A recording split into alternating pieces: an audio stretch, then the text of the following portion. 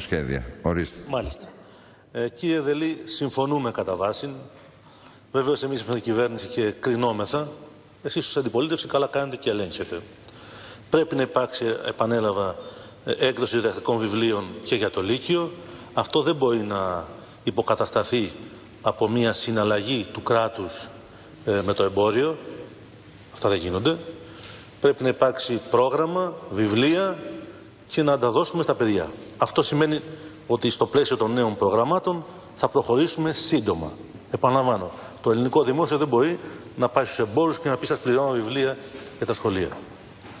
Ε, θα ήθελα να σας πω επίσης ότι όσα είπα σας διαβεβαιώνω δεν συνιστούν ευχολόγιο. Θα κρυθούμε σύντομα στην πράξη. Θα λάβουμε πρωτοβουλίες. Και τέλος, για τα γενικότερα ζητήματα που αναφέρατε, χαίρομαι γιατί γνωρίσατε ότι λειτουργεί η ειδική αγωγή με το πρόβλημα του ειδικού εκπαιδευτικού προσωπικού.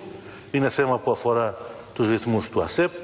Σύντομα και από εκεί θα έχουμε θετική απάντηση για τους πίνακες για να προχωρήσουμε για πρώτη φορά τόσο γρήγορα στην πρόληψη ε, του ειδικού εκπαιδευτικού προσωπικού που είναι αναγκαίο για την πληρότητα της ειδικής αγωγής. Ευχαριστώ.